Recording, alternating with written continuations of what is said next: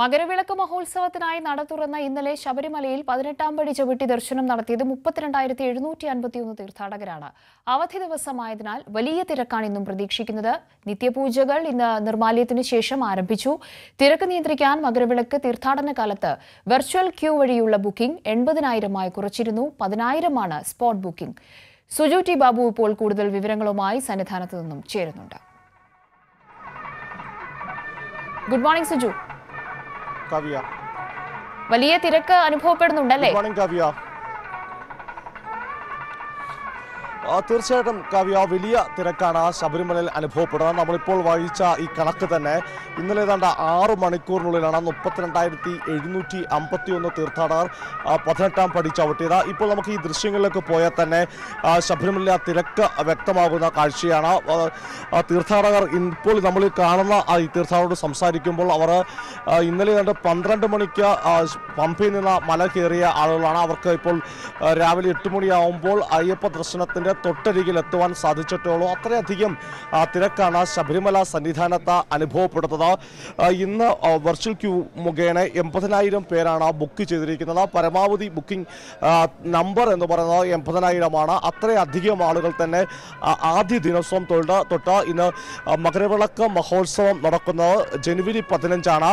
ആ ജനുവരി പതിനഞ്ച് വരെ എല്ലാ ദിവസവും വെർച്വൽ ക്യൂ ബുക്കിംഗ് അതിന്റെ പരമാവധി എണ്ണം കവിഞ്ഞിരിക്കുകയാണ്. അതായത് ധാരാളം തീർത്ഥാടകർ ഈ മകരവിളക്ക് മഹോത്സവം മകരവിളക്കിന് നട തുറന്ന ശേഷം എത്തുമെന്നുള്ള കാര്യത്തിൽ തീർച്ചയാണ്. മണ്ഡലകാലത്തും നമുക്കറിയായിരുന്നു തീർത്ഥാടക പ്രവാഹമായിരുന്നു ശബരിമലയിലൊക്കെ ഉണ്ടായിരുന്നത്.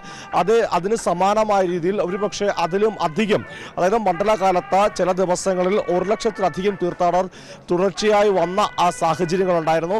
ഇന്ന് ഈ മകരവിളക്ക് മഹോത്സവത്തിനും അതിന് സമാനമായ സാഹചര്യം ഉണ്ടാകുമെന്ന് തന്നെയാണ് പ്രതീക്ഷിക്കുന്നത്. സ്പോട്ട് ബുക്കിംഗ് കൂടെ കൂട്ടുമ്പോൾ പരമാവധി എത്താവുന്ന തീർത്ഥാടക എണ്ണം തൊണ്ണൂറായിരം ആണെങ്കിൽ പോലും ശബരിമലയ്ക്ക് എത്തുന്ന തീർത്ഥാടകരെ ആരും തന്നെയും തടയുന്ന ഒരു കാഴ്ച സർക്കാരിന്റെ ഭാഗത്തുനിന്ന് ഉണ്ടാകുന്നില്ല അതിനാൽ തന്നെ ഒരുപക്ഷെ ഒരു ലക്ഷത്തിൽ അധികം തീർത്ഥാടകർ പ്രതിദിനം എത്തുമെന്ന് തന്നെയാണ് നമുക്ക് കരുതാനാകുന്നത് ഈ മകരവിളക്ക് മഹോത്സവം നട കൂടുതൽ സൗകര്യങ്ങൾ കൂടെ സർക്കാർ ഏർപ്പെടുത്തിയിട്ടുണ്ട്. പ്രത്യേകിച്ച് വലിയ നടപ്പന്തലിൽ കൂടുതൽ ഫാനുകൾ ഏർപ്പെടുത്തിയിട്ടുണ്ട്.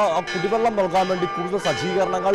ഏതാണ്ട് മുപ്പതോളം സിവിൽ ഡിഫൻസ് സേനാംഗങ്ങളെ തീർത്ഥാടകരെ സഹായിക്കാൻ വേണ്ടി ശരംകുത്തി മുതൽ വലിയ നടപ്പന്തൽ വില നിയോഗിച്ചിട്ടുണ്ട്. ഈ ക്യൂ കോംപ്ലക്സിലേക്ക് കൂടുതൽ ഭക്ഷണവും വെള്ളവും അങ്ങനെ സ്വാഭാവികമായി ഉണ്ടാകുന്ന ഒരു തിരക്ക്. അത് നമുക്കറിയാം ശബരിമല സന്നിധാനം പോലെ ഒരു ക്ഷേത്രത്തിൽ പതിനെട്ടാം പടിയിൽ വഴിയാണ് ഇരുമുടി ഇരുമുടിക്കെട്ട് നേന്തി വിടുന്ന അതായത് ശബരിമല അയ്യപ്പനെ ദർശിക്കാൻ വേണ്ടി ഇന്ത്യയുടെ വിവിധ ഭാഗങ്ങളിൽ നിന്ന് തത്വമസി പൊരുള ആ, അടങ്ങിയിരിക്കുന്ന ശബരിമലയിലേക്ക് ഒഴുകിയെത്തുന്ന ആ തീർത്ഥാടകർ ഇരുമുടിക്കെട്ട് എന്തി വരുന്നവർ പതിനെട്ടാം പടി ചവിട്ടി മാത്രമേ അയ്യനെ ദർശിക്കുകയുള്ളൂ. അതുകൊണ്ട് തന്നെ തിരക്ക് സ്വാഭാവികമായി ഉണ്ടാകും. ആ സ്വാഭാവികമായി ഉണ്ടാകുന്ന തിരക്കിനെ നിയന്ത്രിക്കാൻ വേണ്ടി അല്ലെങ്കിൽ ആ തിരക്ക് അനുഭവപ്പെടുമ്പോൾ തീർത്ഥാടകർക്ക് വേണ്ട എല്ലാ സൗകര്യങ്ങളും ഏർപ്പെടുത്തി കൊടുക്കാൻ സർക്കാരും ദേവസ്വം ബോർഡും പ്രത്യേകം സജ്ജീകരണങ്ങൾ ഏർപ്പെടുത്തിയിട്ടുണ്ട്.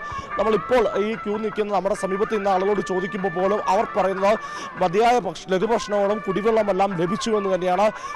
കവിയ അത് ഒരു സന്തോഷകരമായ ഒരു വാർത്ത തന്നെയാണ്. കഴിഞ്ഞ മണ്ഡലകാലത്ത് ചില തരത്തിൽ ചില തെറ്റായ പ്രചരണങ്ങളൊക്കെ ഉണ്ടായെങ്കിൽ പോലും അതായത് ചില അസൗകര്യങ്ങൾ ഉണ്ടായപ്പോൾ അതിനെ വിപുലീകരിച്ചും പർവതീകരിച്ചും കാണിക്കേണ്ട ശ്രമമുണ്ടായി എന്നാൽ അത് പിന്നീട് ആ വ്യാജ വാർത്തകളൊക്കെ പൊളിയുന്ന ഒരു കാഴ്ചയാണ് കാണുവാൻ സാധിച്ചത്.